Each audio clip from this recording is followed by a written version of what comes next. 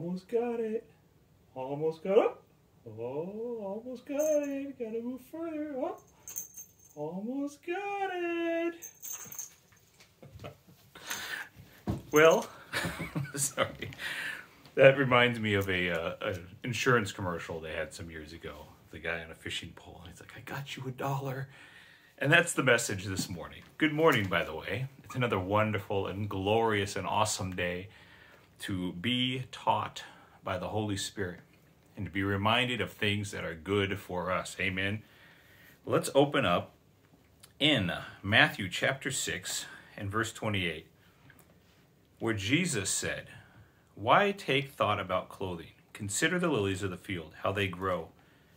They neither work nor do they spin, yet I say to you that even Solomon in all his glory was not dressed like one of these.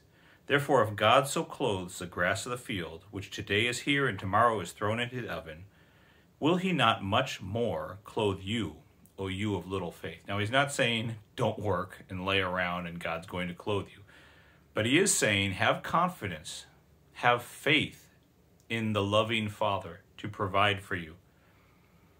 Then he says in verse 31 Therefore, take no thought, or take no anxious, worrisome, fretting thought, saying, What shall we eat, or what shall we drink, or what shall we wear? For the Gentiles seek after these things. For your heavenly Father knows that you have need of these things. But seek. What are you seeking? You're not seeking after what to eat, what to drink, what to wear, what the supply is, but seek first the kingdom of God and his righteousness and all these things shall be given to you. And then he says, Paul wrote in Romans chapter 8 and verse 14. So there, Jesus said, Seek first the kingdom of God. Paul says, For as many as are led, led by the Spirit of God, these are the sons of God. Very similar concepts. You're following after something.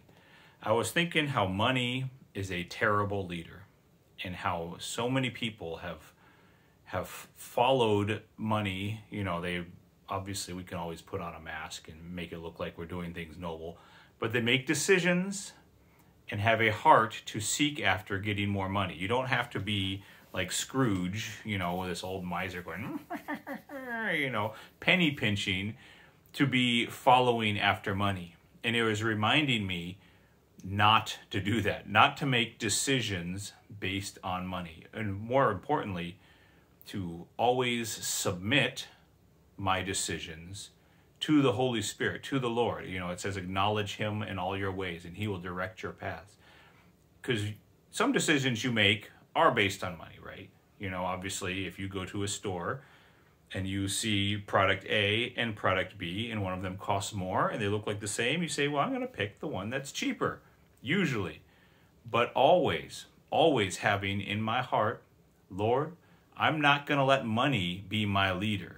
You're my leader. What do you say about this? Of course, some sound decisions are reasonable, but everything submitted to the Holy Spirit, everything in my heart, my goal is not to to obtain, to lust and obtain for money, but to seek first the kingdom of God and this tells you a little bit about some of the errors that happen uh, throughout history and today in business and in politics and, and whatnot when people are led by having just a little bit more money. It's really easy to take that, this is actually a cat toy, but take that little bit of dollar, you know, hey, if you do well, if you just listen to what I say, if you make that little bit of compromise, if you violate your conscience just a little bit, you're going to get an extra dollar fifty an hour. How does that look to you? You know, or an extra hundred dollars, or a free donut, you know, or whatever, whatever it could be. It's just a little enticement trying to lead you on. That's a reason money is a terrible leader. Is because money can be attached to a string. And who do you suppose would like to be on the other end of that string? It would be nice to say it's God, but God is not leading us by lust. It's the enemy. The devil likes to be on the other end of that string, trying to drag people along. Paul again says in writing to Timothy, now it's a different different subject, not being led by the Spirit, but in this case he says in 1 Timothy 6 and verse 9, but those who desire to be rich. Now, that word desire to be is a little soft, in my opinion. Those who are yearning to and following after being rich fall into temptation. Aha. And a snare and into many foolish and harmful lusts, which drown men in destruction and ruin. For the love of money is the root of all evil. While coveting after money, some have strayed from the faith and pierced themselves through with many sorrows. But I am convinced that is not you and that's not me. That's just a reminder to us. Keep God first. Seek first his kingdom and his righteousness. Be led by the Spirit. We're not following after money, we're not following after profit and gain. Thank God that the blessing of the Lord makes us rich and he adds no sorrow with it. But we love our Father. We love the living God. We love his kingdom. We love his ways. And we love to walk in righteousness. Amen. Be blessed.